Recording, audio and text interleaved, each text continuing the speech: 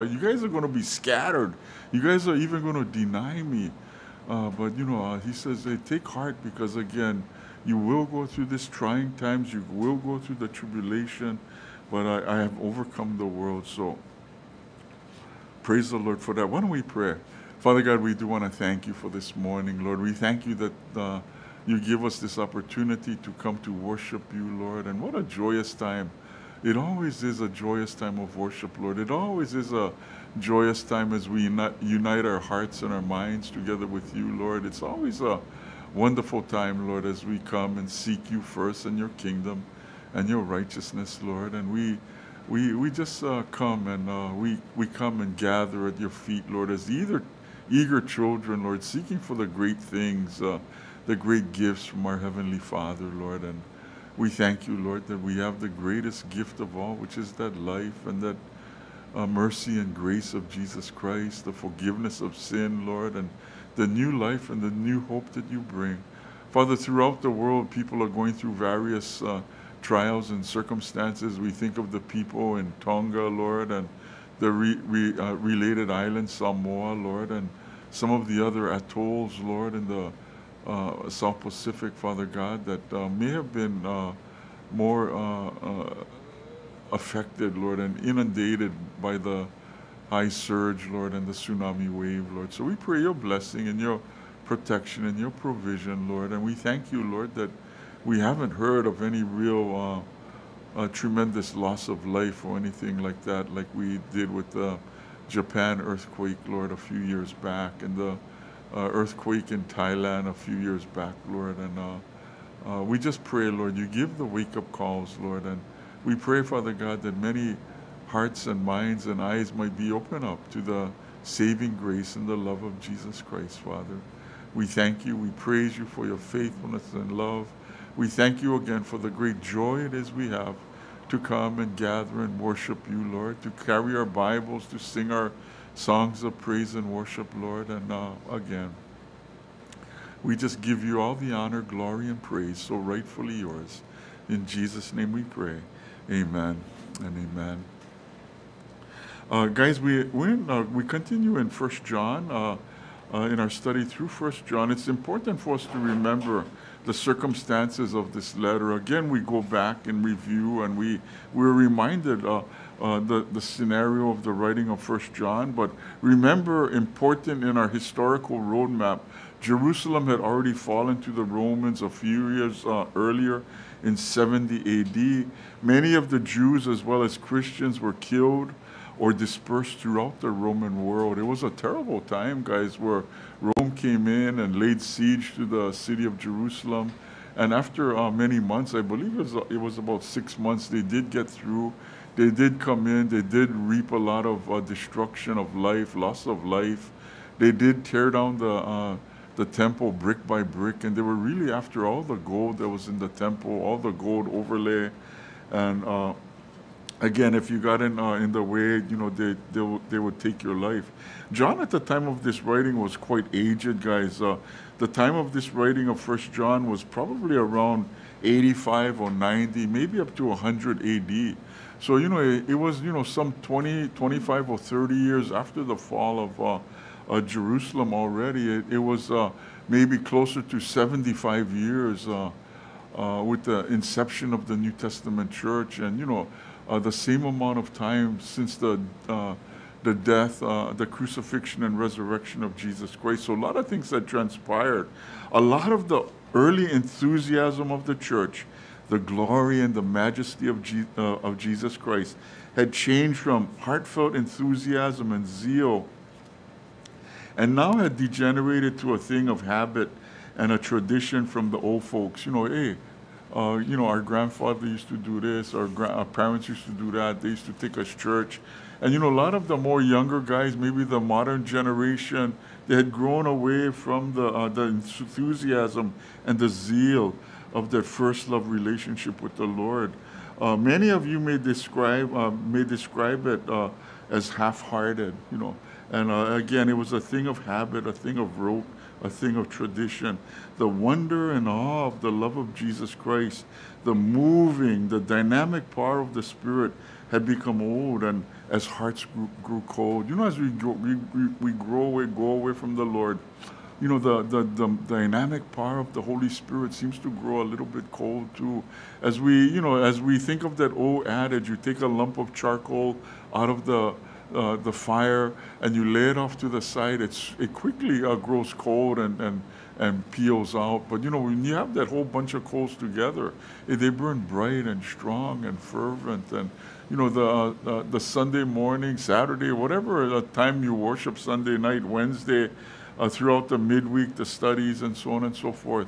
It becomes a time where the, the, there's this universal celebration and a greater outpouring of the Holy Spirit, a greater ministry, a greater moving uh, uh of the dynamic power of the Spirit as we gather together, the people of God, the body of Christ, His church, guys. So at times people may have grown uh, weary, finding Christianity a burden. Oh, it's a burden to get up. It's a burden to uh, come to church. It's a, you know, I, I, I don't want to do it because, oh, I'm tired. I have a good excuse. And probably that's the greatest time to come out. Um, you know, not a, not a burden, but, you know, it, it should be a great joy. And uh, God doesn't want us to serve out of the things of, hey, we, it's a hardship and begrudgingly come. It's like the, the guys that give begrudgingly uh, you know, the Lord would say, hey, take your money back or take your service back because, you know, I, I love a cheerful giver. I love that one that comes. And, you know, I think was prayed earlier that we, we offer up li- our lives as a sacrifice of praise. We offer up our lives as a living sacrifice, holy and pleasing unto God, our reasonable wor- uh, uh, uh worship, a service of worship towards Him. You know, and, and, and that says uh, we, we come giving ourselves first. Everything else just kind of follows along. But, you know, to be called a saint, and, you know, people were called saints back then, uh, it just simply meant to be set apart. It was, uh, uh, it, it called Christians to be set apart from the world. And as time went on, maybe the youth and the lukewarmness within the hearts of people uh, found the world more attractive. Ooh, the, oh, my, my friend's going party. Oh, my friend's going to do this and that. Or, oh, you know, I just go miss. Oh, I go in golfing. You know, what, oh, that guy's like go ride motorcycle. Whatever it might be, uh, the things of the world uh, were more attractive, and things of moral purity, love in Christ, and really the love of Christ over the things of the world grew, grew more wearisome you know, it become a, it became we, we became weary of doing this, and you know, it wasn't out of the, the the motivation of the love of God or the the leading of the Spirit, but it became a thing of the work and in uh, the work of the flesh. And as we do things in the flesh, be, we we grow weary. It, it, it gets tiring. New life, new love, new hope, new forgiveness became more difficult without the love and the power of the Lord. You know, so uh, this is where the the heart of the people were at. The real danger was the hearts growing cold and the attractiveness of heretical teachers that were coming out during this period of time, leading people astray. They said that, hey, because you live in this body, you can't help yourself, so just give yourself over to the, the, the lusts and the desires of your flesh because you live in this uh, body. The spirit is good, but you know, give yourself over to the pleasures of the world, the pleasures of the flesh.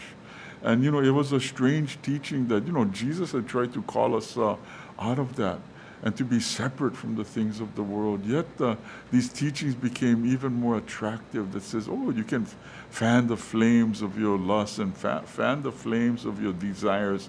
And not only that, not only fan the flames, but fulfill the desires that you have. Uh, so many years back, there was a, there was a movement with the, within the church uh, called the Emergent Church the emergent church. And you know, a lot of guys were talking about this emergent church, and a lot of a lot of the Calvary guys were kind of concerned because even from within the confines of the Calvary chapels, a lot of these guys were embracing things of the emergent church. And what this emergent church was uh, was going back, they were using terms like contemplative prayer or contemplative. Uh, uh, the things of the Lord and uh, things like candles, things like stained glass, or things like uh, the more ritualistic things of liturgy and so on and so forth that, you know, most of us have had left. You know, we're coming back, we're creeping back in, and uh, uh, these things of uh, uh strange or new forms of worship or really old forms that had uh, rebranded themselves and renamed themselves and repackaged themselves as saying that, hey, we're going to go by, uh, we're going to have this statue, we're going to have the stained glass, we're going to have the candles, and uh, uh, we're going to have this contemplative prayer and contemplate who God really is and, you know, our relationship to Him. But, you know, it, it kind of came and went. Uh, uh, it was a worrisome thing, but to think that, uh, you know, we would slide back or slip back into the things of that. And, you know, guys have told me, oh, it's so, um, uh, it's so spiritually uplifting to sit uh, uh, in that scenario and so on and so forth. And Uh, guys with certain uh, backgrounds, uh, parts of the Christian church, but again, growing up in some of those more staid type of backgrounds. But guys, uh, uh, things of moral purity, the love in Christ, really the love of Christ over the things of the world grew more and more wearisome. That new life, that new love, that new hope, all these things uh, uh, were difficult. And again, the heretical teachers were leading people astray.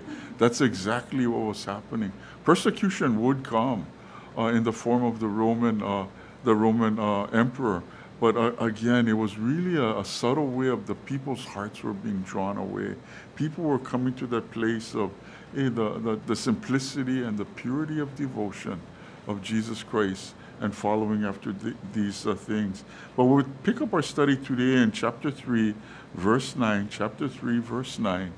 But, you know, as I mentioned last week, it was a little bit of a difficult uh, passage, and I never thought that John was such a a deep guy because you know early on uh, they used to uh, tell new believers we used to tell new believers hey read the gospel of john or better yet read first john and we thought that it had all the answers and we, we uh, it does have all the answers the word of god really has all the answers but sometimes when you look at it uh, it really begins to speak of speak to you very uh, straight without pulling any punches without sugarcoating things but as we look at uh, the previous, uh, as we review the, the previous verses, verses 3 to 8, one scholar put it as the test of progress is obedience. The test of progress is obedience. Progress does not confer the privilege to sin. The further on a man is, the more disciplined a character he will be. And I thought, wow, that's so heavy. The further along in our walk and in our relationship with the Lord, the more obedient we come. Uh, uh, because we're growing in the Lord, our progress does not mean we give in or we uh, kowtow to the privilege of sin. But the further on a man is, the more disciplined a character he will be. And the, the guy's name is A.E. Brooke. And I thought that that was such a wonderful thought that the further a man is uh, uh, along in his relationship with the Lord, he becomes a more disciplined character. And uh, I like to think that hey, all of us today might say that hey, we, we, we've grown in the Lord, we've walked with the Lord, and uh, we've become uh, quite a far way from where we were before. And uh, we've become a little bit more disciplined in the things of the, the world, the flesh, and the devil. And uh, again, we've become really not a character uh, in the world or of the world, but we've become a character of Jesus Christ, guys. In the previous verses, John tries to impart certain basic truths about sin. And number one, first he tells us what sin is. You know, in the in the previous verses, it's a deliberate breaking of a law when man, uh, which man knows. Sin is to obey self rather than God. And you know, this is where the people were at. They said that, hey, I can instead of going to temple, uh, instead of going to the synagogue or my meeting, my my meeting of believers, hey, I'm going, I'm going to go to the temple. Going to worship uh, via the temple prostitutes. I might go party. I might go have a party down there. And uh, you know what uh, what goes on in Corinth stays in Corinth. And you know I think that a lot of the guys, their attitudes were that hey, you know you're taking a break from the things of the Lord and you're going back to to entertain the things of the flesh. Number two, he tells us what sin does. Sin undoes the work of God. You know, if we give into sin, all the good work that God has begun in us, that sin undoes the work of God. Uh, Jesus, the Lamb of God who takes away the sin of the world, um, uh, and, and to sin is to bring back that which he came to do away with. You know, Jesus came to do away with sin. He came to wash us and cleanse us, to lead us and to guide us, to be with us, to shepherd us through the difficult times of the trial and the tribulation. And the, the big word is the T word, it's the temptation, you know, that, you, you know, we love to give into. And he tells us, uh, sin undoes the work of God. What God wants to do a good work, God has begun a good work. Sin undoes the work of God. And, uh, uh, you know, as, as Paul wrote it, he says, uh, um, he who began a good work will complete it, you know, until the day of Jesus Christ. In other words, God, Jesus is always working in us. But if we go and we willfully or deliberately live or abide in this sin, uh, it, uh, uh, uh it, it, becomes something that uh, undoes all the good work that he does. John tells us what sin is. Sin comes from failure to abide in Christ. And here's that word again. Remember John, he loves this word abide. He, he used that first of all in the Gospel of John, but when he says, hey, abide in the vine, you know, and, uh, in other words, abide in the, the, the growing and the working and the vine of Jesus Christ. But as we live in a continual, in the continual presence of God, we will not sin. So, you know, the, the thing is, uh, uh, the more we can continue on in God's presence, eh, the greater our power is, the more we will not sin. It is when we go outside of His presence, we sin. We say, hey, Jesus, I'm leaving you at the door. Leave me alone or stay in here because I'm going out. I'm going to do my thing. I'm going to have a little fun. I'm going to have a little fling, you know, whatever it might be. And uh, he says that uh, when we go outside of his presence, we sin. And number four, John identifies where sin comes from. It comes from the devil. And in, uh, in this world, there is a power hostile towards God. You guys know that. You guys believe that.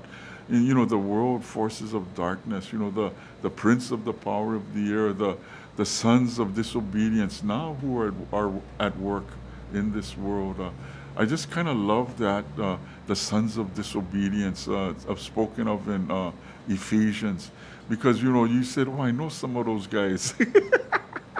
those sons of disobedience. And you know, I can laugh about it, but but truly, eh, there's a lot of these sons of disobedience who are now at work in this world. It began during the time of Paul writing that letter while he sat in the uh, the prison in Rome, and it continues on to this day the sons of disobedience now at work within this world. Number five, John tells us how sin is conquered. Revelation 20:10 tells us, and the devil who deceived them was thrown into the lake of fire and brimstone, where the beast and the false prophet also are. You know, we know that, uh, and we know that the devil knows that his days are numbered. We know that he knows that until uh, he is uh, thrown into that lake of fire, he's going to wreak havoc within the world. He's going to lead people astray. He's going to lead people or, or hold captive within prisons. And, uh, and sometimes, you know, I, there was a movie, I think uh, it was God's Not Dead, and uh, the, the lady was telling her son that hey, sometimes people are imprisoned by the world, the flesh, and the devil. The door is wide open, and that door, the door to life is Jesus Christ. And yet they fail to walk out of that door. They fail to take that step of faith. They fail to embrace Jesus as Lord and Savior. And in that, they keep themselves locked up in that prison, imprisoned by the things, again, of the world, the flesh, and the devil. But in verse 9, he says that no one is born of God, chapter 3, verse 9. No one who is born of God practices sin because his seed abides in him. and he cannot sin because he is born of God. Guys, John writes here in, uh, in verse 9 about those born of God, those born of God.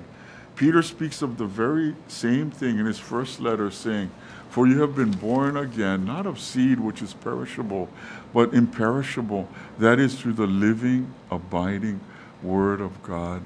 You know, and I, I, I love that thought that, hey, we are born again. We are these born again Christians, and we are those who have been born from seed, uh, from seed which is imperishable uh, through the living, abiding Word of God. And you know, uh, uh, Peter is so heavy. He, you know, he uses that term and he tells us exactly what it is.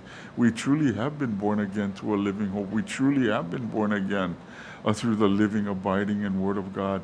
James shares the same thought in James chapter 1, verse 18, saying that in the exercise of his will, he brought us forth by the word of truth, so that we might be, as, as it were, the first fruits among his creatures. You know, it was God's good and perfect will that we would be brought forth by the word of his truth, guys.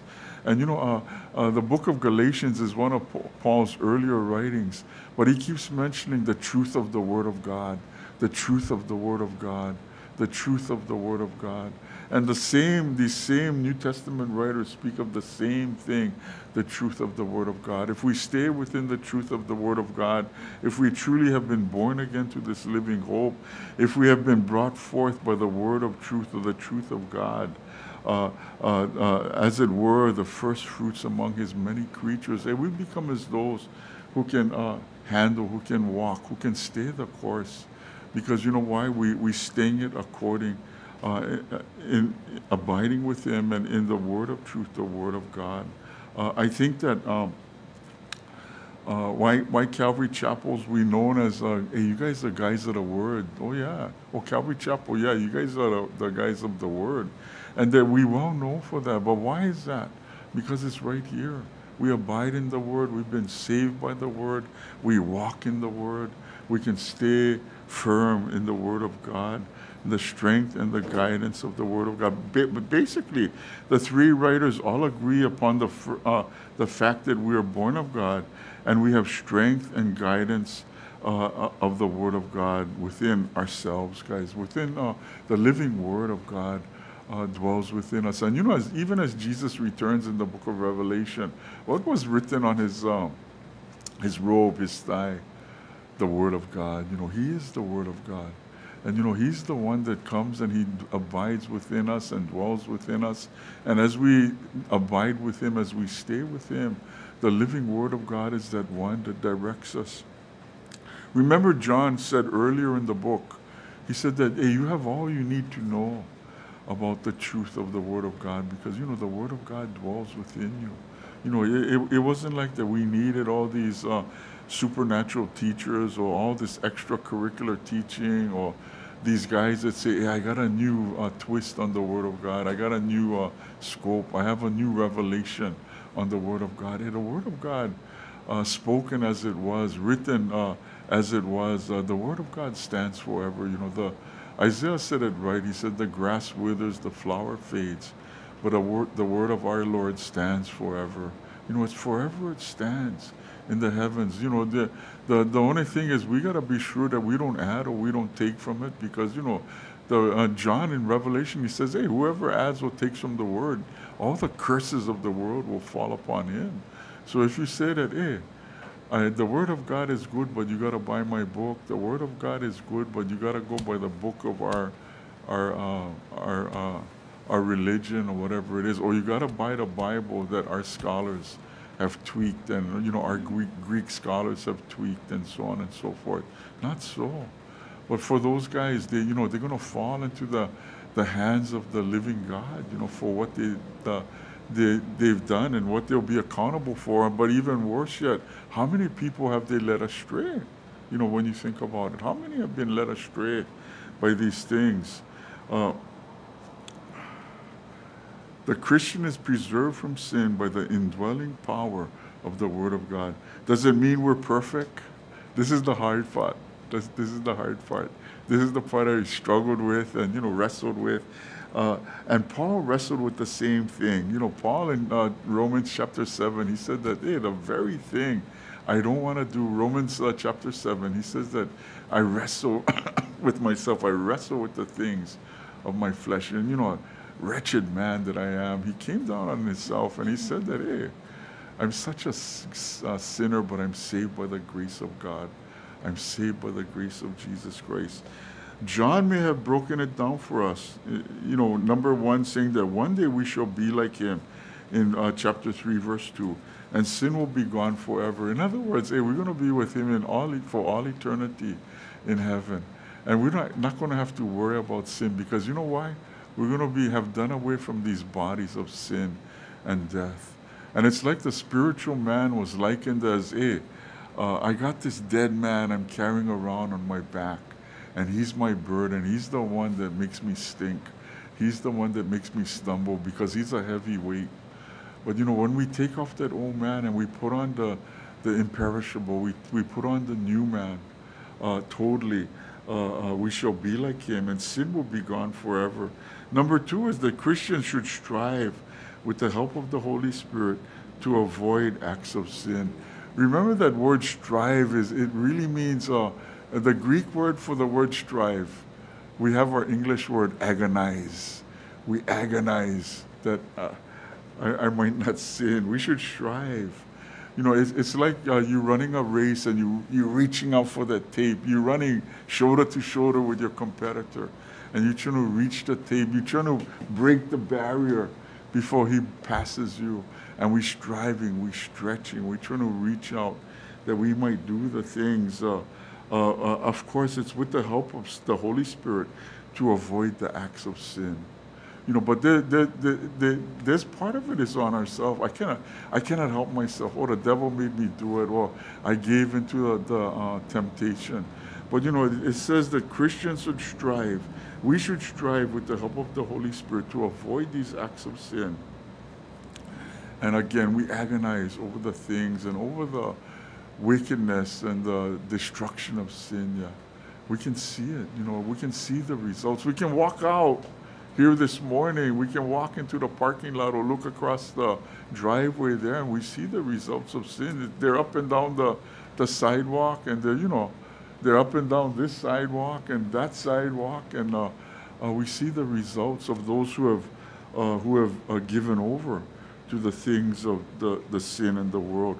Uh, number three is that we realize that uh, we have missteps and trespasses. We got to realize that. And when we do sin, we must uh, contritely and humbly confess them to God. You know, sometimes we sin, we, we do it so cavalierly, we don't even know we're sinning we're just being uh, presumptuous. We just assume, oh God, you're going to bless this. Uh, I'm going to work and I'm going to try and do this. I'm going to try and do that. And, you know, the Lord took me right back to James this morning. And he says that, hey, eh, eh, we, we should say that we're not going to this town uh, uh, down the road, Lord, and we're going to do business and we're going to make money. We're going to do this and that. But James said, reminded us that, hey, if we um, do it, uh, we should ask the Lord, whatever it is, Lord, if it, it's your will, we shall do this or that. Um, James James is an interesting guy, and his writing actually, he uses some uh, neat Greek words. But um, you know, the thing is, uh, uh, presumption is a bad thing. Presumption is a bad word, and we presume on the Lord. We presume that He's going to bless, rather than saying, "Hey, Lord, uh, is this okay? Is that okay? Lord, can we do this? In everything, uh, take all things to the Lord. In everything, we should be with prayer and petition, supplication, with thanksgiving, uh, making our needs known, and not just assuming that, oh, God, you know, I, I, I, serve you, I follow after you, I read my Bible, I share my faith, and blah, blah, blah. And you're gonna, um, you're gonna bless me for that automatically. So I don't have to really pray about it. And I always tell you, uh, if it's a no-brainer, you better pray extra hard because we of, often tells our, tell ourselves, oh, it's a no-brainer. We're going to do this. We're going to do that. We're going to help this. We help with that. Help with that. And uh, oh yeah, we, yeah, we can pray about it, but we already made our mind up. I had I there was one guy he um, he says that oh can you pray for me because I I I might take a, I might uh, take another job somewhere else, blah blah blah. But after the fact was that hey, he had already quit his job. He already found a new job, and he was already halfway moving across the world to get to that new job without, you know, the prayer was after the fact. Everything was done. Everything was set in motion, and uh, it, it kind of like prayer came almost secondary or third hand because hey, everything was falling into place. I presume this is your will and. Uh, uh, you know, I, I, I, guess things turned out, you know, I hope things turned out, and I'm pretty sure they turned out. But sometimes when we presume, it's a, it's a real bad thing. And, you know, even for the best of Christians, we, we presume something, and, you know, rather than, hey, we should be praying about this, we should really take everything to the Lord. And it's quite literal that rubber bands that guys used to wear years ago, the WWJD, it really should be that and you know, some guys, uh, they, they used to tell you, oh, let me pray about it. That means, hey, go away, don't bother me.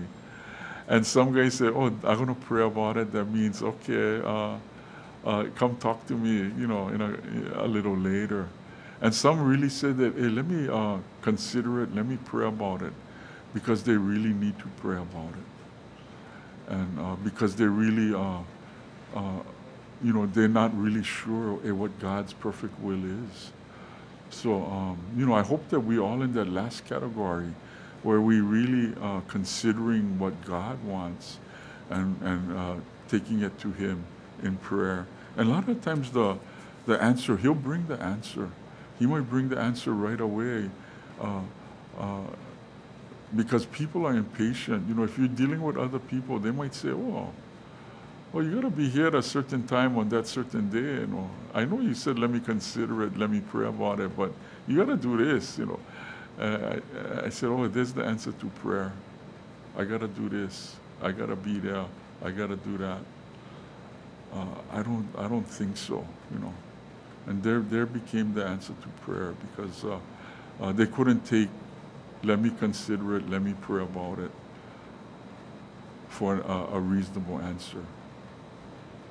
So you know that that's uh, that's where it is. That's where that presumption comes into play.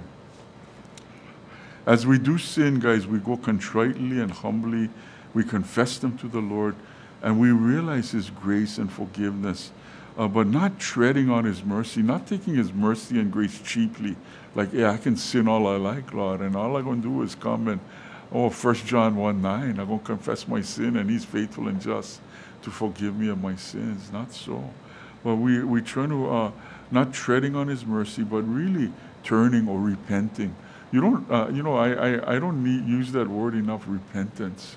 You know, that we got to turn, we got to repent from the way we're going and turn to the way of the Lord. Number four, in all of this, it's hard to think or imagine that a Christian can be a deliberate, deliberate and regular sinner with sin dominating his life. Isn't that difficult to think that, hey, uh, we have Christian brothers and sisters that a Christian can be a deliberate and regular sinner with sin dominating his life. Oh, that's so difficult. It hurts coming out of my mouth, but it's the truth of the truth. See? So uh, don't get me wrong. John is not setting before us a life of demanding per, uh, perfection. He's not saying, hey, you got to be perfect or you're not saved. You got to be perfect or you're going to face the consequences. But he does desire, the, as the Lord does, that the child of God is watchful against sin. There's the, the word watchful against sin. A life in which sin is not the norm, but the abnormal uh, moment of defeat.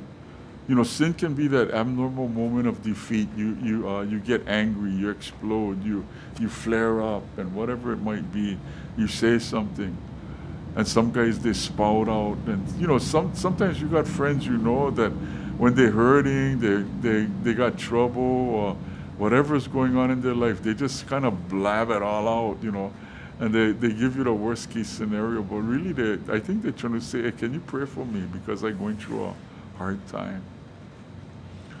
I'm going through a hard time. For others it might just be reading something uh, it might be a little devotion like our shepherd to the sheep or whatever that speaks volumes to their hearts.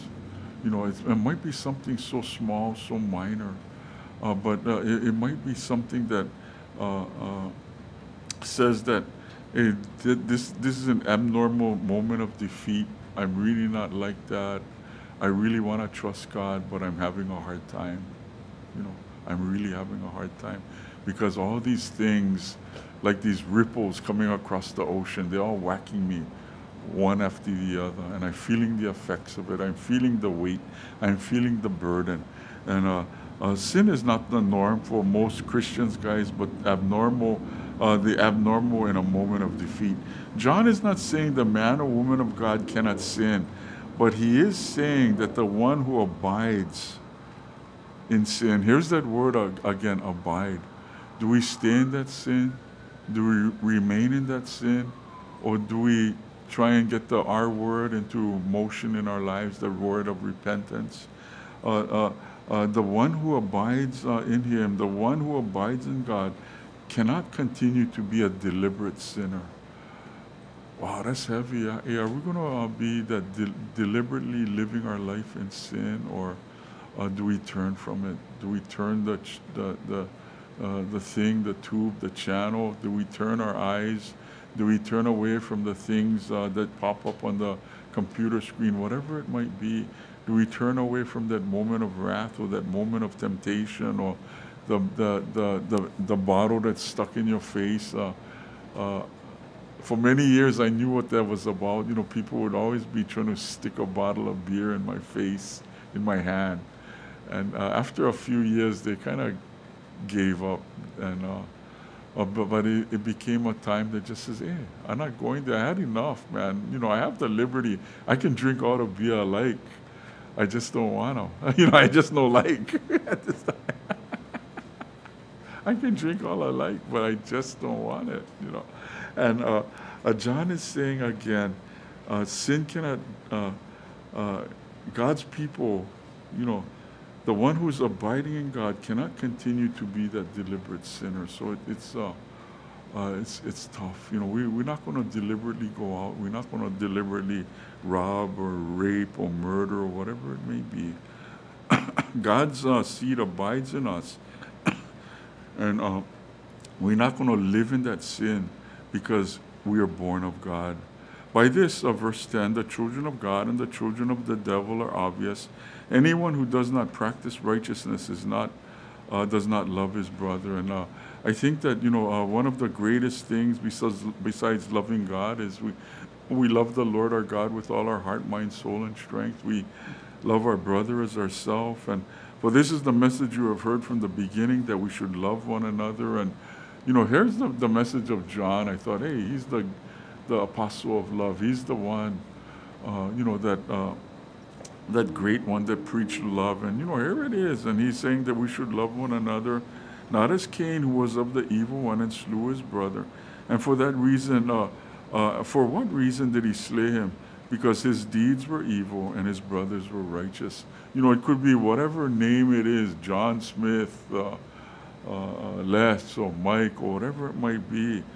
Uh, if our deeds are evil, it, you know, the fruits of the evilness, the fruits of the wickedness, the fruit of sin uh, will appear. And uh, if you live in the righteousness, you walk in the righteousness, if you're living and abiding in the presence of the love of Jesus Christ, it's going to be harder to deliberately try and live, live in sin, to deliberately try and uh, commit that act, Lord. And uh, uh, the Lord knows the heart, and the Lord knows how to uh, rescue us from temptation. Paul wrote that uh, that the Lord knows how to rescue those from temptation. And I, I always had this picture that at times uh, we're like this rubber band. The world and the temptation and the flesh and the devil is stretching us one way, and the Lord is just holding on to us, and you know He won't let go. He won't let that rubber band snap. He won't let that kite string snap. But He's always got His hand on us, pulling us back, and pulling us back to the Word of God. Where do I have to be? Oh, I should be in church. Where do I have to be? I should be in the Word. Where do I have to be? Oh, I've been silent. I should be having a word of prayer. You know, I should be with the guys. And uh, the things of the world, the flesh and the devil and sin, of course, are naturally going to keep us away from the things of the Word of God and the things of the fellowship of believers, the things of uh, uh, receiving communion, the things of receiving prayer and uh, praying for others. And uh, again, uh, we have a great um, guide. It's called the Bible.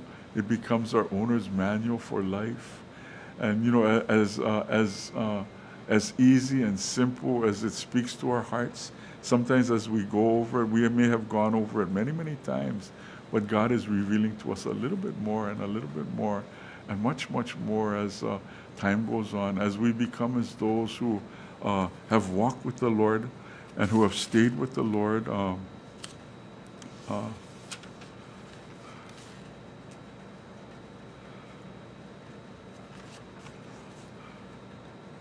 those born of the Word of God. Let's pray.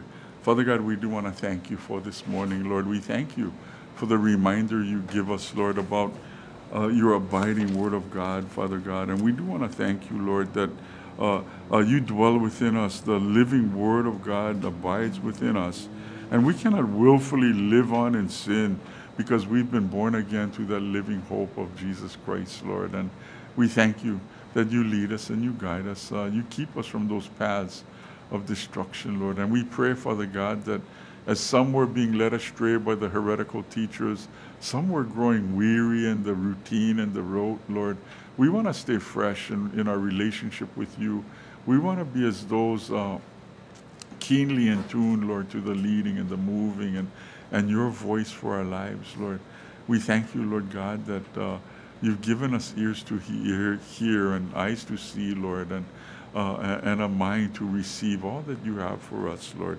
We pray you continue to move and minister richly on our behalf the great things of Christ Jesus, Father. We thank you. We praise you ahead of time, and we thank you for what you're doing now. We thank you for what you've done in the past, and we look forward to what you're going to do for us in the future. In Jesus' name we pray. Amen and amen.